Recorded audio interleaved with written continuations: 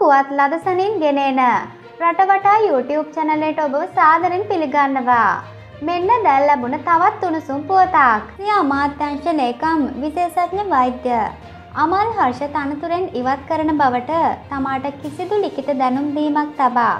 SMS පණිවිඩයක් හෝ නොලැබුණු බව. ප්‍රාථමික සෞඛ්‍ය සේවා වසංගත රෝග සහ කොවිඩ් රෝගපාලන කටයුතු රාජ්‍ය ඇමතිනි.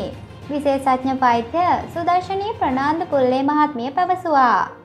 ලේකම්වරයා විශේෂඥ වෛද්‍යවරයෙක් බැවින් සහ සෞඛ්‍ය අමාත්‍යංශයේ සැලකිය යුතු කාලයක් සේවය කළ බැවින් කොවිඩ් පාලන කටයුතු පිළිබඳව මනා අවබෝධයක් තිබුණේ යයිද ඇය පෙන්වා දුන්නා. පාලන රාජ්‍ය ඇමති දූරෙන් ඉල්ලා ස්වන බවට තොරතුරක් ලැබී ඇතැයි සෞඛ්‍ය අමාත්‍යංශයේ ඇතැම් පුද්ගලයින් කරන ලද ප්‍රකාශයන් සම්බන්ධයෙන් විට ඇය සඳහන් කළේ. සෞඛ්‍ය අමාත්‍යංශයේ ඇතැම් කටයුතු අවුල් සහගත තත්ත්වයක තිබුණ බැවින් තමා කලකිරීමෙන් කටයුතු කළ නමුත් එම අවුල්සාගත තත්ත්වයන් දැන් නිවැරදි කරගෙන සිය ඇමති දූරේ කටයුතු සාර්ථකව කරගෙන යන බවයි. මෙවැනිම පුවත් ලදසැනින් ඔබ වෙතටම ගෙන්වා ගැනීමට.